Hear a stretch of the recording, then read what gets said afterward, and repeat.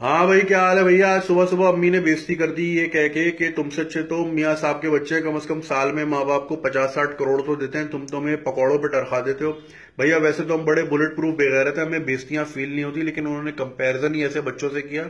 सुबह से दिन ओझल ओझल है तो हमने सोचा भाई, ज़िंदगी में कुछ बड़ा करना है, ताकि हमारे पेरेंट्स को लगे कि हमने कुछ ज़िंदगी में किया है। तो भाई, हमें पता चला, वो गवर्नर की पोस्ट आई हुई है सिंध में तो हमने सोचा अप्लाई करते हैं। ठीक है, हमारी उम्र साढ़े आठ सौ साल की है, लेकिन भाई अब 2017 है, जवानों का दौर है, ठीक है ना? इस मुल्क की साठ फ़ीसद आबादी तीस साल से नीचे है, लेकिन इस मुल्क के सौ फ़ीसद पॉलिटिशियन साठ साल से ऊपर है। अब ये कौन सी लॉजिक है भाई? जिस आदमी को मैं तो कहता हूँ स्नैपचैट नहीं पता, उसको चाहिए डिस्कालीफाई कर दे, उसका करियर खत्म हो जाए पॉलिटिक्स का। भाई हमारे दर्द वही समझेगा जो हमारी उम्र का है। हमारा चार्ज ही चार्ज नहीं हो रहा, इन लोगों को पता ही नहीं, इनको भेजो रिटायरमेंट होम चिल्हो से छीलेंगे वहाँ बैठ के। या आगे रूल कर रहे हैं हमें। ठीक है ना? अब जैसे कायम अली शाह साहब पिचासी साल की उम्र में आठ साल रूल कर गए सिंध को, मेरे ख्याल से उनका स्लोगन था मेक सिंध मुंजो दौड़ो अगेन पूरा सिंध का हाल मुंजो दौड़ो जैसा बन गया है। कराची की हालत देखो, खंडर हो गया जगह जगह कूड़ा, करकट पड़ा है। इतनी सी बारिश हुई है पिछले हफ़्ते, डूबा हुआ है अभी तक शहर। बिलाल खान की तरह डूब रहा बचाना मुझे। खैर भाई, अब आप लोग ये सोचेंगे कि जो है ना why why am I fit for this job भाई देखे जिस मुल्क का एजुकेशन मिनिस्टर मैट्रिक फेल हो सकता है, जिस मुल्क का हेल्थ मिनिस्टर बाहर जाके इलाज कराए तो भाई मैं गवर्नर क्यों नहीं बन सकता? और सबसे बड़ी चीज़ भाई, मेरे पास ये ओरिजिनल डिग्री है यूनिवर्सिटी ऑफ़ कराची की। ये सारे स्टैंप लगे हुए मिनिस्ट्री ऑफ़ फॉरेन अफेयर और एचईसी के, ठीक है ना? तो ये तो हम सबसे अच्छे पॉइंट्स तो हमारे पास ये कि मैम हमारा ओरिजिनल डिग्री है।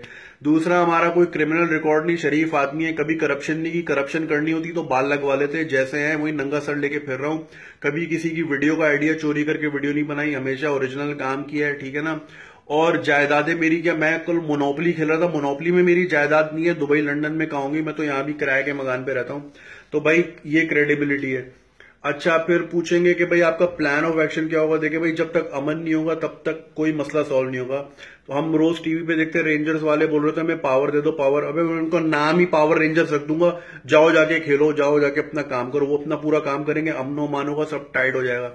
दूसरी चीज़ ये कि भाई मैं एक टास्क फोर्स बनाऊँगा। अब जैसे पंजाब में वो उन्होंने बना दी डॉल्फिन फोर्स अब वहाँ समंदर है नहीं डॉल्फिन है, घूम रही है, कोई लॉजिक ही नहीं है किसी चीज़ की। मैं यहाँ बनाऊँगा चमाट फोर्स क्योंकि इस आवाम को है ना, सीधा करने का अब यही तरीका रह गया है, वरना ये ऐसे ही चलते रहेगा हर सिग्नल पे खड़ा कर दूँगा मैं फोर्स का आदमी, ठीक है ना, जो जेबरा क्रॉसिंग क्रॉस करेगा, वही चमाटे ऑन द स्पॉट इंसाफ। जिसने पीक पे की उसके बालों से पड़े उसका मुँह रगड़ देंगे पीक पे। ज़िंदगी भर कभी पान गुटका नहीं खाएगा, ठीक है ना।